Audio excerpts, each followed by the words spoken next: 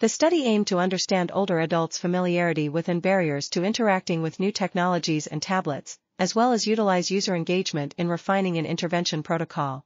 18 novice tablet users participated in focus groups that explored attitudes towards tablets and technology, perceived advantages and disadvantages of using tablets, familiarity with, and barriers to interacting with tablets.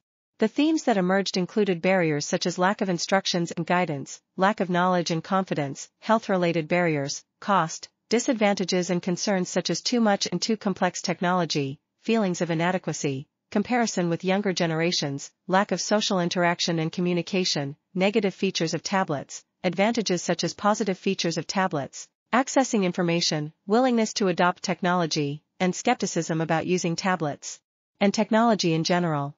After brief exposure to tablets, participants emphasized the likelihood of using a tablet in the future.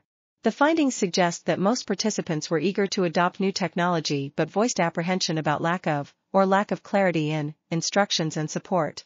Understanding older adults' perceptions of technology is important to assist with introducing it to this population and maximize its potential to facilitate independent living. This article was authored by Eleftheria Vaportzis, Maria Giatsi Clausen, Alan J. Gow, and others. We are RTCL.TV, links in the description below.